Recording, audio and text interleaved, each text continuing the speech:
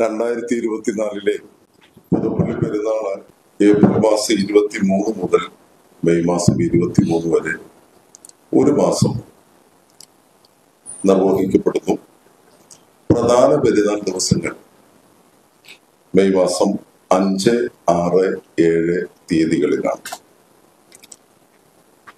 ഒരു മാസമായി ആചരിക്കുന്ന പെരുന്നാളിന്റെ പ്രധാന കാർമ്മികത്വം വഹിക്കുന്നത് മലങ്കര ഓർത്തഡോക്സ് സഭയുടെ പരമാധ്യക്ഷൻ പരിശുദ്ധ ബെസിലിയൂസ് മാർത്തമ്മ മാത്യൂസ് തൃതീയൻ കാതോലിക്ക ബാബ തിരുമനസ്സുകൊണ്ടാണ്. സഹകാർമ്മികർ കോട്ടയം ഭദ്രാസന മെത്രാപ്പൊലിത്ത അഭിമുഖ്യന്മാർ ദിയസ്കോസ് തിരുമേനിയും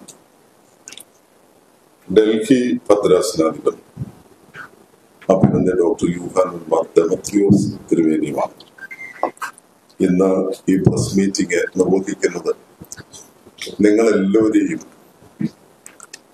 രണ്ടായിരത്തി ഇരുപത്തിനാലിലെ പുതുപ്പള്ളി പെരുന്നാളിലേക്ക് വളരെ സന്തോഷപൂർവം സ്വാഗതം ചെയ്യുവാനാണ് മാധ്യമ പ്രവർത്തകരായ എല്ലാവരെയും പെരുന്നാൾ ചടങ്ങുകളിലേക്ക് സ്വാഗതം ചെയ്യുന്നു. ഈ പ്രസ് മീറ്റിംഗിൽ പങ്കെടുക്കുന്നത് ഞാൻ പുതുപ്പള്ളി പള്ളിയുടെ വികാരിയാണ്. ബഹുമാനപ്പെട്ട വർഗീസ് പി വർഗീസ് അച്ഛൻ ഉൾപ്പെടെ ഞങ്ങൾ നാല് വൈദികരാണ് ശുശ്രൂഷ അനുഷ്ഠിക്കുന്നത്. ബഹുമാനപ്പെട്ട കുര്യാപ്പുസി പനച്ചൻ ബഹുമാനപ്പെട്ട ലസൻ ജോസഫ് അച്ഛൻ ബഹുമാനപ്പെട്ട വർഗീസ് പി വർഗീസ് അച്ഛൻ. ഈ വർഷത്തെ ട്രസ്റ്റിമാര് രണ്ടുപേരാണ് ബഹുമാനപ്പെട്ട ഫിലിപ്പോസ് വന്നല അതുപോലെ തന്നെ നെല്ലിശ്ശേരിയിൽ ബഹുമാനപ്പെട്ട മാത്യൂസ്. ഇവർ രണ്ടുപേരാണ്. ഈ വർഷത്തെ ട്രസ്റ്റിമാർ ബഹുമാനപ്പെട്ട വി എ പോത്തൻ പന്തല പെരുന്നാളിന്റെ ജനറൽ കൺവീനറാണ്. ബഹുമാനപ്പെട്ട സജി കളപ്പുരയ്ക്കൽ മുൻ ട്രസ്റ്റിയാണ് പെരുന്നാളിന്റെ ക്രമീകരണങ്ങളുടെ പ്രധാന ഉത്തരവാദിത്വം വഹിക്കുന്നു പെരുന്നാൾ ചടങ്ങുകൾ പ്രധാനമായും ഏപ്രിൽ മാസം ഇരുപത്തി മൂന്ന് പരിശുദ്ധ ഗീവർഗീസകതയുടെ രക്തസാക്ഷിത്വ ദിനമാണ് അന്നാണ് പെരുന്നാൾ ചടങ്ങുകൾ ആരംഭിക്കുന്നത്.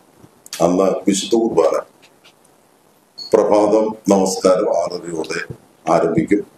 വിശുദ്ധ കുർബാന നിർവഹിക്കുന്നത് സഭയുടെ വൈദിക ട്രസ്റ്റി ബഹുമാനപ്പെട്ട ഡോക്ടർ തോമസ് വർഗീസ് അമയിലച്ചനാണ്. പ്രധാന പെരുന്നാളിന്റെ സമാരംഭം കുറിക്കുന്നത് ഏപ്രിൽ മാസം ഇരുപത്തി എട്ടാം തീയതി പെരുന്നാൾ കൊടിയേറ്റോടുകൂടിയാണ്.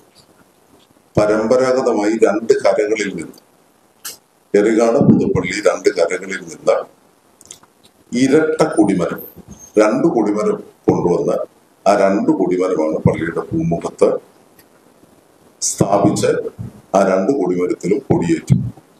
ഈ ഇരട്ട കൊടിമരം പുതുപ്പള്ളി പെരുന്നാളിന്റെ മാത്രം ഒരു പ്രത്യേകതയാണ്. പരിശുദ്ധ ബഹനാൻ സഹതായുടെയും ഈ സഹതാടിയും ഓർമ്മ നിലനിർത്തത്തക്ക രീതിയിലാണ് ഇരട്ട കൊടിമരം സ്ഥാപിക്കുന്നത്.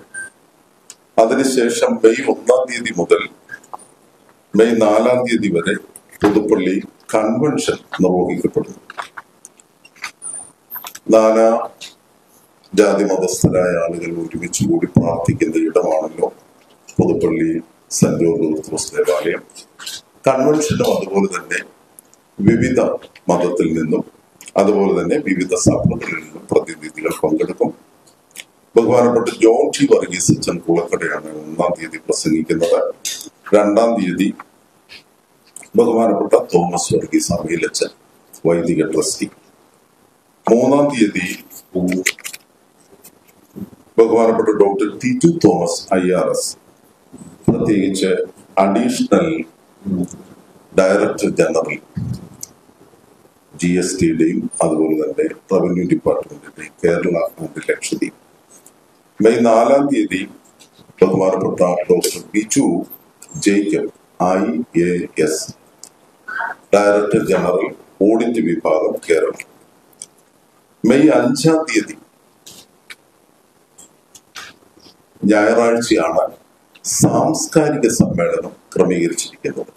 അത് പരമ്പരാഗതമായി പെരുന്നാളിനോടനുബന്ധിച്ച് നിർവഹിക്കപ്പെടുന്ന പ്രധാനപ്പെട്ട ചടങ്ങാണ് ആ സാംസ്കാരിക സമ്മേളനം. അധ്യക്ഷൻ കോട്ടയം മദ്രാസ് പുലിത്ത അഭിനന്ദ ഡോക്ടർ യുഹാനൻ മത്തിയസ് കോറോസ് തിരുമേനിയാണ്.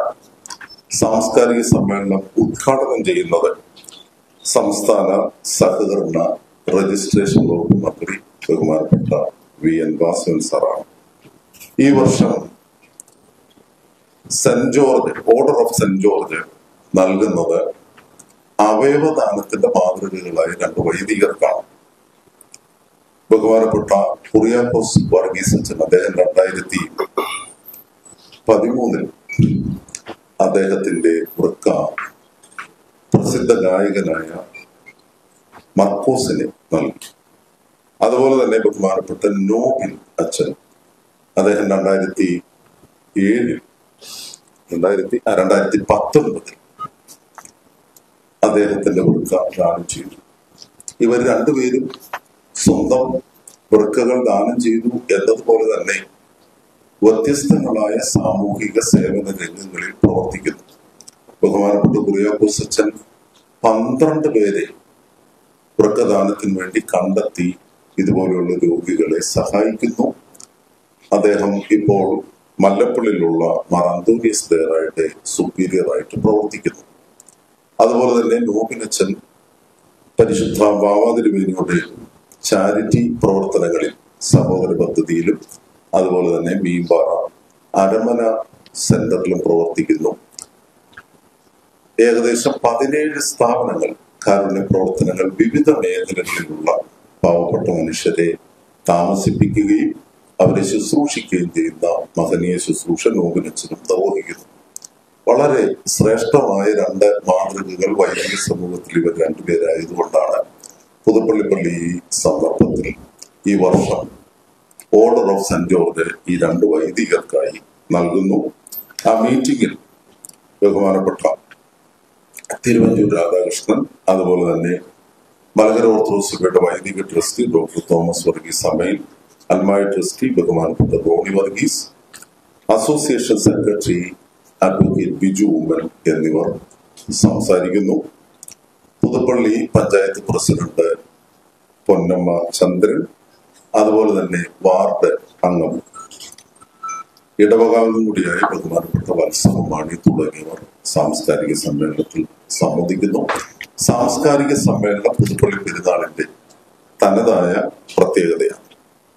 അതിനുശേഷം അന്ന് ഉച്ച കഴിഞ്ഞ് പുതുപ്പള്ളി തീർത്ഥാടനം കൊച്ചാലുമൂട് കൈതമറ്റം കാഞ്ഞരത്തിൻമൂട് എന്നീ കുരിശടികളിൽ നിന്ന് പള്ളിയിലേക്ക് പ്രധാന പ്രദക്ഷിണത്തിന്റെ മുന്നൊരുക്കമായി പ്രദക്ഷിണങ്ങൾ നിർവഹിക്കപ്പെടുന്നു.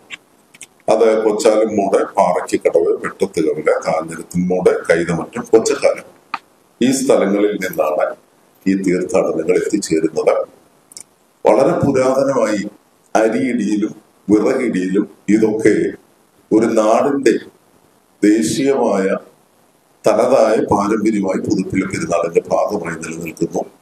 എല്ലാ മനുഷ്യരും ഒരുമിച്ച് വ്യത്യസ്തതകളൊന്നുമില്ലാതെ ഒരുമിച്ച് കൂടി വിറകിടിയിലും അതുപോലെ തന്നെ അന്ന് വൈകിട്ട് നിർവഹിക്കപ്പെടുന്ന അരിയിടിയിലും പൊതുവായി സംബന്ധിക്കും പിറ്റേ ദിവസത്തേക്കുള്ള വെച്ചൂട്ടൽ വൈകിട്ട് തന്നെ ക്രമീകരിക്കപ്പെടുകയാണ്.